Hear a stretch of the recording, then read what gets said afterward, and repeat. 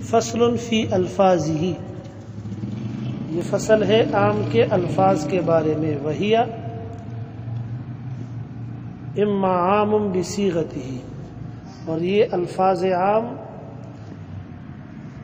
या तो आम होंगे सीगे के लिहाज से भी व माना हो और माने के लिहाज से भी। यानी लफज भी क्या होगा?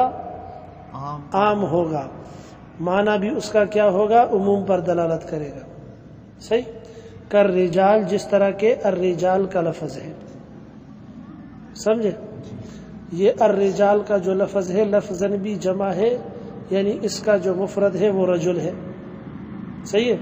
और इसका माना भी जमा वाला है, यानी इसका इतलाक जो है, वो किस पर होता है? कसीर पर होता है। जमा पर होता है। समझ में आ रहा है? वह इम्मा आम बेमाना हो या फिर आम होगा किस लिहाज से? अपने माने के लिहाज से। आम के अंदर उमूम किस लिहाज से होगा? सिर्फ़ माने। के लिहाज से होगा। यानी उसका सीगा ऐसा नहीं होगा कि सीगा जमा का हो और मिन लफ्ज ही उसका मुफरत हो। इस तरह बात नहीं होगी अर्रिजाल की तरह समझे ना? लेकिन माना उसका ऐसा होगा कि जब लफ्ज बोला जाएगा तो उसका इतलाक कसीर पर होगा। समझे? वह इम्मा आम बेमाना हो या आम होगा अपने माने के लिहाज से। वह हाजा, और ये आम बिलमाना इसकी फिर दो किस्में हैं। इम्मा तनावल मजमुआ, या तो ये शामिल होगा किस चीज़ को? मजमुए को। यानी मजमू मिन हैसुल मजमू को शामिल होगा। औ कुल्ल वाहिदिन। नज़र आ रहे या ये शामिल होगा किस चीज़ को? कुल्ला वाहिदिन। इम्मा तनावल मजमुआ। या तो शामिल होगा किस चीज़ को? मजमुए को। कर रहते वल कौमे। जिस तरह के रहतुन का लफज है और कौम का लफज है। नहीं समझ में आया मसला? रहत का लफज ऐसा है कि जिसका इतलाक जो है, वो दून अल आशारा के ऊपर होता है। दस से कम पर। तवज्जो है कि नहीं है? तो इसमें भी जमयत वाला माना क्या है? उमूम वाला माना क्या है? मौजूद है।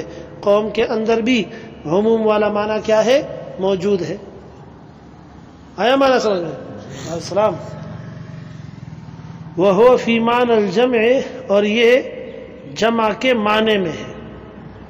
यानी ये दोनों के दोनों लफज, एक लफज रहतुन का, दूसरा लफज कौन सा? कौम उनका और रहत और अलकौम का जो लफज है, ये दोनों के दोनों जो है, ये जमा के सीगे तो नहीं है कि इनके लफज से इनका मुफरत भी क्या हो, मौजूद हो, लेकिन माना किस चीज़ का दे रहे हैं? जमा का फीमान जमा। समझे? तो अर्रिजाल में और अलकौम और अर्रहत में फ़र्क क्या हुआ कि अर्रिजाल लफज के लिहाज से भी जमा, माने के लिहाज से भी जमा, और अलकौम और अर्रहत जो है वो माने के लिहाज से जमा, लफ्ज के लिहाज से जमा नहीं। लफ्ज के लिहाज से आम नहीं है, लेकिन माने के लिहाज से क्या है? आम। आया माना समझ में? ऊपर आपके साथ किताब के अंदर बैन सुतूर लिखा हुआ है, अर्रिजाल के नीचे। अय बिल्लाम व इल्ला फजम उन मुनक्करुन। नज़र आ रहा है? कि अर्रिजाल अगर होगा तो वो आम होगा। व इल्ला अगर अलिफ्लाम नहीं होगा, सिर्फ़ रिजाल होगा फजम उन मुनक्कर तो उसको क्या कहा जाएगा? जमा मुनक्कर कहा जाएगा। यानी वो आम नहीं होगा। तवज्जो है कि नहीं है? पिछले साल भी हम हुसामी के सबक में ये बात वाजे कर चुके हैं कि इस बात में इख्तिलाफ है। कि जमा मुअर्रफ बिल्लाम होना शर्त है, उमूम के लिए या शर्त नहीं है? हमारे मातिन के नज़दीक शर्त है। समझ में आया? दीगर के नज़दीक शर्त नहीं है। वो कहते हैं, जो हुक्म रिजाल उनका है, वही अर रिजाल का भी है। नीचे थोड़ा तोशी को देखना। हाशिया नंबर एक की पांचवी लकीर। वल हासिल। हो नज़र आ रहे लकीर। तोशी वल हासिल अनल जम अल मुनक्करा आमुन इंदना। लिल कुल्ले नज़र आ रहे हो?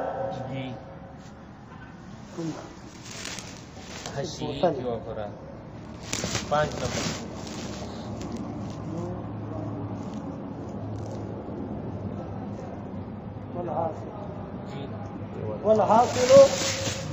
खुलासे कलाम ये है अन्नल जमा मुनक्करा कि जमा मुनक्कर जो होता है यानी वो जमा जो नकेरा है। समझे ना? यानी जिस पर अलिफ्लाम नहीं है। आमुन इंदना लिलकुल्ले आमुन इंदना? ये शामिल है हमारे नज़दीक सबको। इन द अदमिल माने बशर्त के कोई माने मौजूद न हो। अम्मा इन द वजूद ही फ महमूल अला अखसल खसूस वह सलास। देखो जी। यहाँ तक मसला समझ में आया? कर वल कौम वह फीमान जमे औ कुल्ला वाहिदिन औ कुल्ला अला सबील शमूल या ये लफज ऐसा होगा जो शामिल होगा कुल्ला वाहिदिन हर एक को अला सबील शमूल बतरीक शमूल के लफ्ज होगा उसका माना किस चीज़ का होगा जमा का होगा उमूम का होगा मिन लफ्ज ही उसका मुफरद नहीं होगा। फिर उसकी दो किस्में हैं, या तो उसके अंदर शमूल होगा या बदलियत होगी। या इंतज़ाम अला तरीक शमूल होगा, या इंतज़ाम अला तरीक बदलियत होगा। इंतज़ाम नहीं कहो, शमूल कहो, समझे ना? शमूल अला तरीक इंतज़ाम है तो ये आम की तरह है। शमूल अला तरीक बदलियत है तो ये किस चीज़ की तरह है? मुश्तरक की तरह है। मुश्तरक और आम में आपने फ़र्क पड़ा था ना? सही है? मुश्तरक वो होता है कि जिसके अंदर लफज एक है, माने उसके बहुत हैं, लेकिन अला सबील बदलियत, या ये या ये या ये या ये, कोई एक। सारे बैक वक्त नहीं। आम के अंदर क्या था? लफज एक है, माने के अंदर वो है बैक वक्त सबको शामिल नहीं समझ में आया मसला?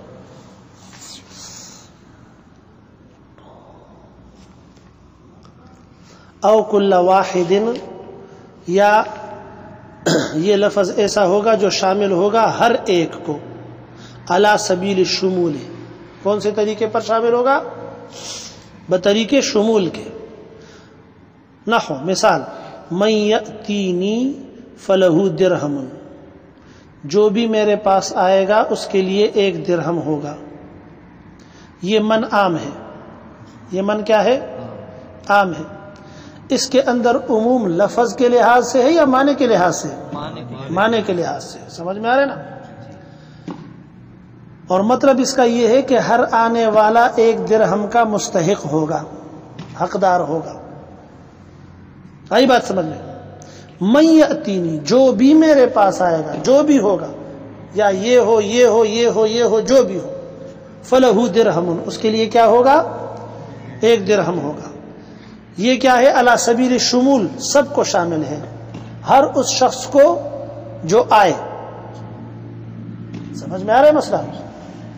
औ अला सबील बदले, या फिर यूँ होगा कि लफज आम होगा।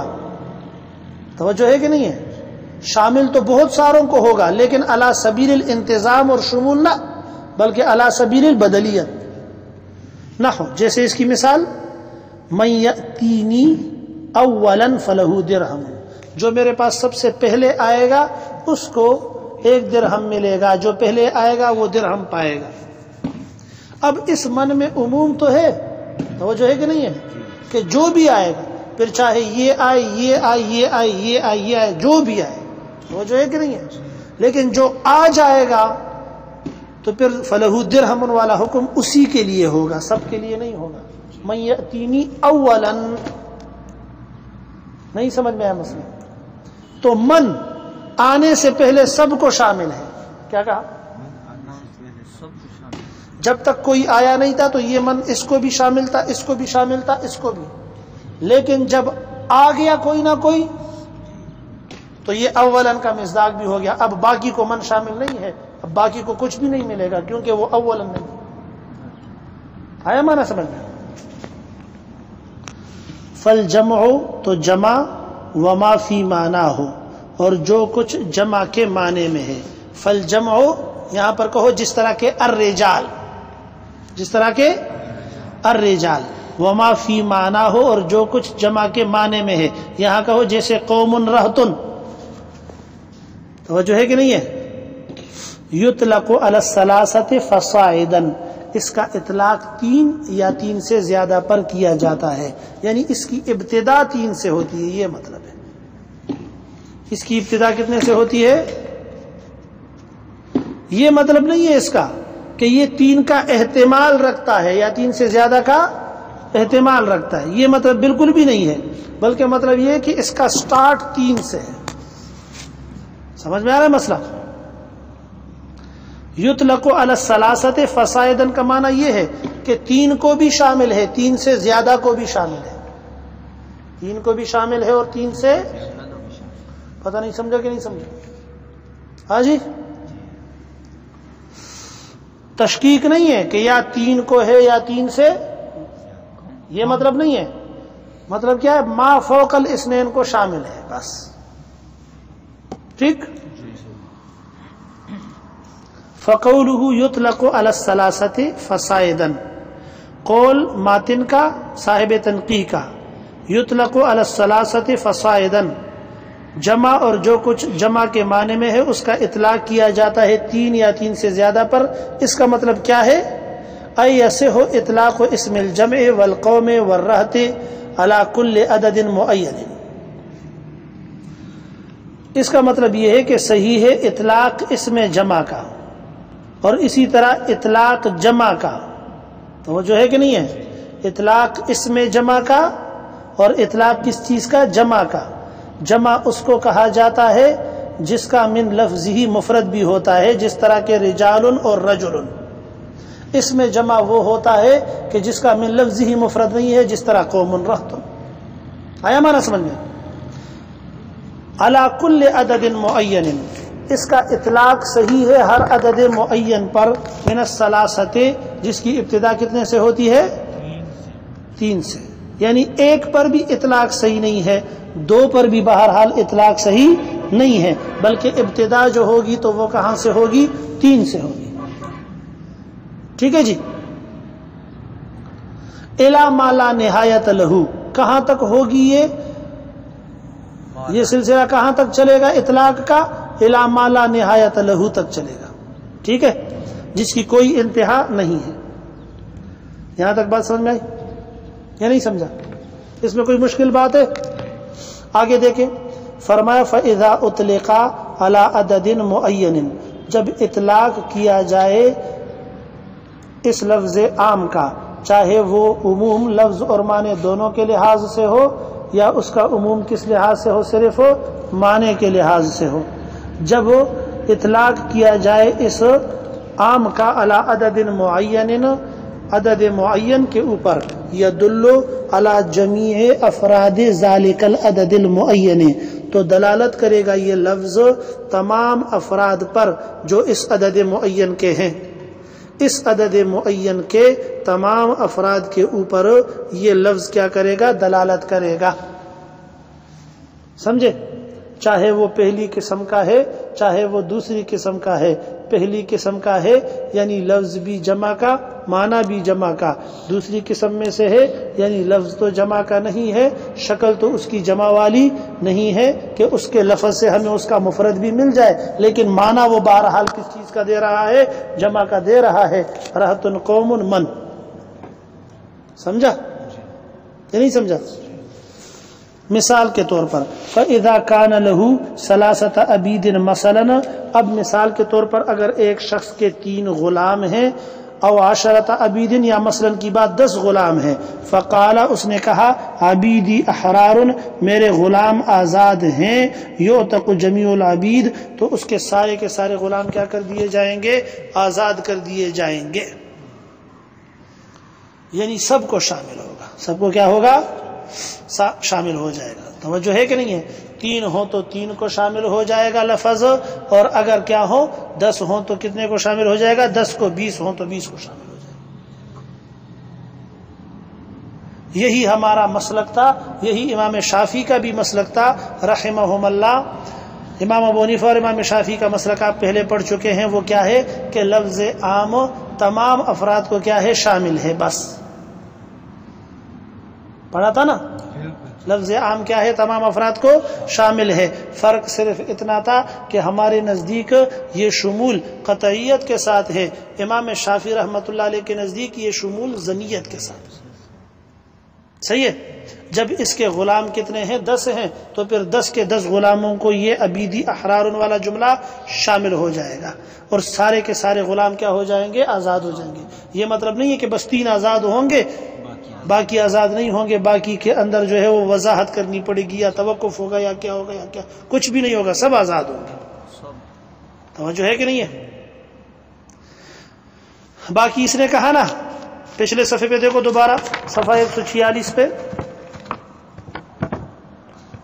आखिरी लकीर मतन की, फल जम व माना हो। जमा और जो कुछ जमा के माने में है युतला को अलसलासत फसायद। नज़र आ रहा इसका इतलाक तीन और तीन से ज़्यादा पर किया जाता है।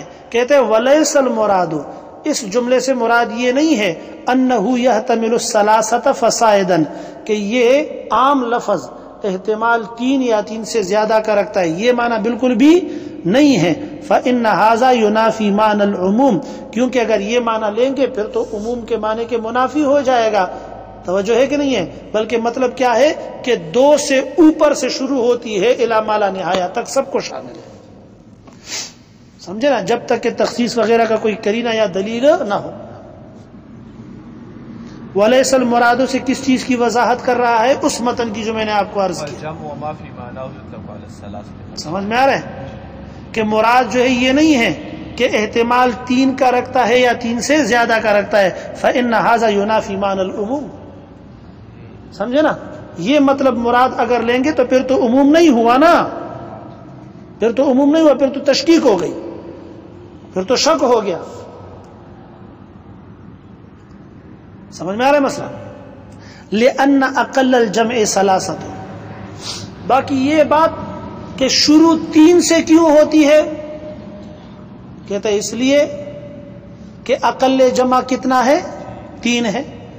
अरबी के अंदर जमा की इब्तदा कितने से होती है? तीन से। हमारी और आपकी पश्तो और उर्दू के अंदर दो से। समझे ना? हमारे यहाँ जमा के लिए इब्तदा कहाँ से है? दो से। अरबी के अंदर दो के लिए अलग लफज है, एक के लिए अलग है और दो से ऊपर के लिए फिर जमा है, वो अलग है। समझे ना? मुफरत वाहिद और तस्तिया और फिर उसके बाद जमा। तो जो है, बाज ने कहा है कि जमा का इतलाक दो से स्टार्ट होता है। जिस तरह के पश्तो उर्दू में दो से होता है ना, इसी तरह जो है वो जमा का इतलाक भी, आम का इतलाक भी किस चीज़ से होगा? दो से होगा। लिहाजा जहाँ उमूम होगा, वहाँ दो होगा। उन्होंने दलीलें भी दी हैं, उनकी दलीलों को ज़िक्र भी करेगा, फिर उसका जवाब भी करेगा। ठीक है? देखें। बिल्कुल आसान आसान है, देखते जाए, समझते जाए। ले अन्ना अकल जम सलासतन। जमा की कम से कम मकदार कितनी है? ये किसका दावा है? हमारा। सही है? वह इन दलबाज इसनाने। बाज के नज़दीक। अकल मकदार जमा की। वो कितनी है? दो। दलील क्या है इनकी? लेकौल ही ताला फ़िनकान लहू इखवतन। अल्लाह ताला ने फरमाया, अगर उसके भाई हों, यहाँ इखवतन से मुराद क्या है? वल मुराद इसनाने। इखवतन जमा है? समझे ना? हालाँकि मुराद कितने भाई हैं? दो या दो से ज़्यादा। तो इब्तदा दो से हो रही है। समझे? इससे मालूम हुआ कि जमा की इब्तदा किससे होती है? दो से होती है। तो आम की इब्तदा भी कितने से हो जाएगी? दो से हो जाएगी। इसका जवाब यहीं पर यह है कि मीरास के बाब के अंदर इब्तदा कितने से होती है? जमा की दो से। समझे ना? बाब मीरास का मसला अलग है, गैर मीरास का अलग। इस दलील का जवाब समझा?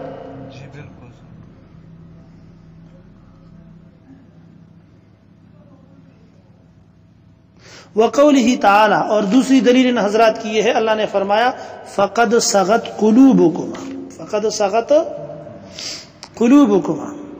तुम्हारे दिल क्या हो चुके हैं? माइल हो चुके हैं। समझे ना? सही तर्जुमा यही है, टेढ़े ना। अजवाज मतहरात के दिल टेढ़े ना? क्या? मायल हो चुके हैं। यानी तुम्हारे दिल तोबा की तरफ़ मायल हो चुके हैं। इन इल्लाह फ़कत सगत कुलूबुकुम। समझे? ये दूसरी दलील हो गई इन हजरात की। तो देखो, कोमा तस्निया है कि नहीं है? तस्निया मुखातब है। तो कुलूब जमा क्यों लाया? तो मालूम हुआ कि जमा का इतलाक दो पर हो रहा है ना, इसलिए कुलूब जमा लाया। इसका जवाब आगे खुद देगा, लेकिन एक जवाब जो आप छोटी किताबों में भी पढ़ चुके हैं, वो ये है कि जब तस्निया की इजाफत तस्निया की तरफ़ होगी, समझे ना? तो हिदायत न हो में आप पढ़ चुके हो कि फिर तस्निया को जमा करके लाया जाएगा। फ़कत सगत कुलूबुकुमा। जब इजाफत किसकी होती है? तस्निया की तस्निया की तरफ़ यानी ज़मीर तस्निया है ना आगे? कोमा। समझे? ज़मीर मुखातब तस्निया। तो उसकी तरफ़ जब इजाफत तस्निया की करेंगे तो तस्निया को क्या करके लाया जाता है? जमा करके लाया जाता है, इसलिए जमा करके लाया गया है। दूसरा जवाब आगे दे रहा है कि ये मजाज है। समझे? वकौली अलैहिस्सलाम और इसी तरह रसूलुल्लाह सल्लल्लाहु अलैहि वसल्लम ने इरशाद फरमाया, अल इफनान फमाफो को हमा जमात दो या दो से ऊपर के जो बंदे होते हैं, वो क्या होती है? जमात होती है। दो भी जमात है और दो से ऊपर के अफराद भी क्या है? तो दो को भी रसूलुल्लाह वसल्लम ने जमातुन फरमाया है। इसका जवाब आगे दे रहा है। लेकिन यहीं पर इसका जवाब ये है कि हदीस ज़यीफ है। जो है कि नहीं है? और बाज ने तो जोफ में बहुत सख्ती की है इसके। यहाँ तक कि हदीस को मुनकर तक कह दिया है। समझे? और जवाब तो साहिब किताब खुद ही देगा। यहाँ तक मसला समझा? या नहीं समझा? वलाना हमारी दलील। इजमा अहल लगत। अहल लगत का इजमा और इत्तेफाक है। हमारी दलील किस बात पर? कि जमा की इब्तदा दो से नहीं होती, बल्कि कितने से होती है? तीन से होती है। एक दलील क्या है? इजमा अहल लगत का। फ़ी इख्तलाफ सी अगिल वाहिद व तस्नीत वल जम सारे अहल लगत इस बात पर मुतफिक हैं कि मुख्तलिफ़ हैं सीगे वाहिद के और तस्निया के और जमा के। तो तस्निया और वाहिद और जमा के सीगे अलग अलग लाने में मकसद क्या है? यही है कि तस्निया और जमा में क्या है? फ़र्क है। नहीं समझा? अगर फ़र्क नहीं होता तो फिर तस्निया के सीगे जमा के साथ मिक्स होते। हालाँकि तस्निया के सीगे अलग है और जमा के सीगे अलग है। नहीं समझा? वल हदीस महमूल मवारी से और हदीस, उसको हमल किया गया है किस चीज़ के ऊपर? मीरास के मसाइल के ऊपर। और मीरास के मस... अच्छा जी, रह गया। अच्छा। वला निज़ा फिल इर्स वल वसीयत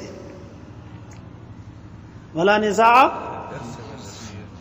बाकी जो तुमने आयत पढ़ी थी ना इखवतन से इस्तदलाल किया था तो कोई झगड़ा नहीं है मीरास और वसीयत के मसाइल में फ़िन अकल जम फ़ीमा इसना क्योंकि वहाँ अकल जमा कितना है दो ही है आया मसला समझ में तो जवाब हो गया ना कि जो आयत आपने पेश की है इस्तदलाल में और इखवतन की जमयत से आप इस्तदलाल करना चाहते हैं, तस्निया के ऊपर, वो ख़ास है किस चीज़ के साथ? मीरास के मसाइल के साथ। समझे? वो कौली ही ताला, और बाकी अल्लाह ताला का फरमान फ़कत सख़त कुलूबकुमा मजाज ये क्या है? मजाज है। एक जवाब मैंने वहीं पर दे दिया आपको। ठीक है? कमायुज करुलजम वाहिद जिस तरह के जमा को ज़िक्र करके वाहिद मुराद लिया जाता है। सही? जिस तरह के ज़िक्र किया जाता है जमा को वाहिद के लिए। यहाँ तक मसला समझा? या नहीं समझा? बाकी रिवायत से इस्तदलाल, जिसके बारे में मैंने अर्ज़ कर भी दिया कि मुहदसिन ने उस पर जरा की है। रबी बिन बदर उसका रावी है। इबन मईन मुहद्दिस ने फरमाया कि वो ले सबशैन फिल हदीस है। इमाम नसाई ने उसकी तरदीद की है। समझे? कि ये मतरूक रावी है। बाज ने उसको कहा, वाहिन जिद्दन, इंतहाई वाही किस्म का रावी रावी है। तो वाही किस्म का जो रावी होता है, उसकी रिवायत भी वाही होती है। क्योंकि हदीस के बारे में कानून ये है कि अल अकल्लो हाकिम अक्सर। अकल हाकिम होता है किसके ऊपर? अक्सर के ऊपर। मिसाल के तौर पर एक हदीस के दस रावी हैं। नौ रावी बड़े बड़े इमाम हैं, लेकिन एक रावी उसके अंदर फासिक, फाजिर किस्म का आ जाता है ज़यीफ़ आ जाता है अल अकल हाकिम अक्सर। नौ इमामों को नहीं देखेंगे, एक ज़यीफ़ रावी को देख के हम कहेंगे, हदीस साकित एतबार है। इस्तदलाल से साकित है, समझे? बाकी जवाब की अर्ज़ फरमा रहे हैं, वल हदीस महमूल अल मवारिस। हदीस महमूल है किस चीज़ पर? मसाइल मीरास पर। एक जवाब हो गया। सही है? और अला सुन्नीत तकदम इमाम। या इस बात के ऊपर महमूल है हदीस कि इमाम की तकदीम सुन्नत है। तो मतलब क्या है? इतनान फमा फ़ोकहुमा जमाअतुन। दो या दो से ज़्यादा बंदे हो तो वो जमात है, लिहाजा इमाम थोड़ा आगे खड़ा होगा। अगर दो हैं और अगर दो से ज़्यादा हैं तो और भी आगे होगा। समझे?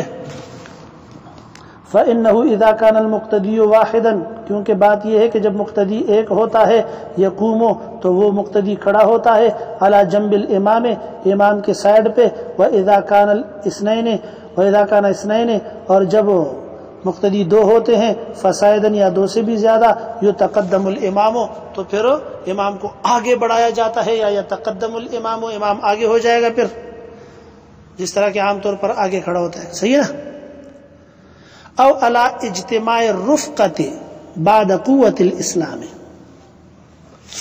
या फिर इस हदीस का महमूल क्या है? साथियों की जमात बाद इस्लाम क़ुत इस्लाम के बाद। क्या मतलब है इसका?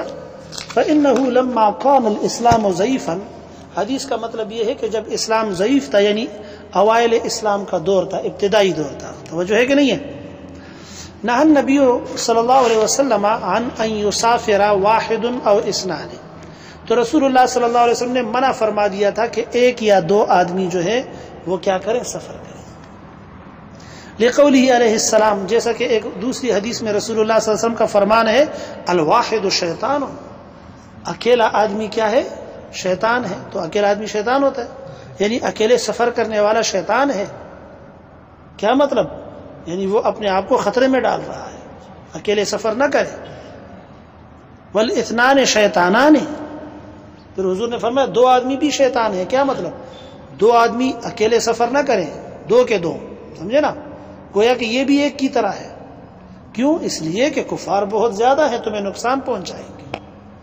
रसूलुल्लाह सल्लल्लाहु अलैहि वसल्लम से उम्मत का नुकसान देखा नहीं चाहता था। इसलिए इतनी सख्त ममानियत फरमा दी थी इब्तदा के अंदर। फिर फरमाया वो सला था तो रकबन। तीन जो है, वो कम से कम क्या है? फिर मुसाफिर है। वो काफिला है। तो मतलब क्या था कि जब सफ़र करो आपस में तो एक और दो ना, कम से कम तीन बंदे जमात बनाकर जाओ समझे? फलम्मा जहरा कुतुल इस्लाम, जब ज़ाहिर हो गई इस्लाम की कुत रुखसा फ़ी सफ़र इसनैन तो फिर दो के सफ़र की भी क्या दे दी गई? इजाज़त दे दी गई। समझ में आ रहा है मसला? फिर दो के सफ़र की भी क्या दे दी गई? ठीक।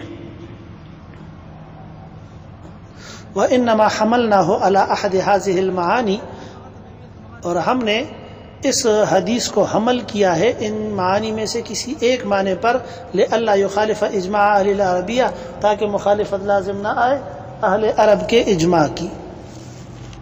ठीक। बिल्कुल जी। वला तमस्लहम बिनहव फ़ालना। एक दलील इन हजरात की ये भी है जो हजरात कहते हैं कि जमा की इब्तदा कितने से होती है? दो से। वो कहते देखो फालना तस्निया और जमा मुतकलम का सीगा जो है वो क्या है? मुश्तरक है। तो मालूम हुआ कि इब्तदा जो है वो दो से होती है जमा की। इसीलिए तो सीगा भी मुश्तरक है। कहा कोई दलील नहीं है इन हजरात की बेनहव फ़ालना फ़ालना जैसे सीगों से। समझे ना?